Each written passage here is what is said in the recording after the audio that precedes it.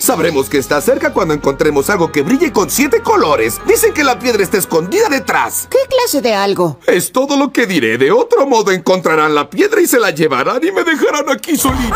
Espera, ¿tú quieres la piedra también? Pues sí, de hecho yo la quiero. ¿Qué planeas hacer con ella?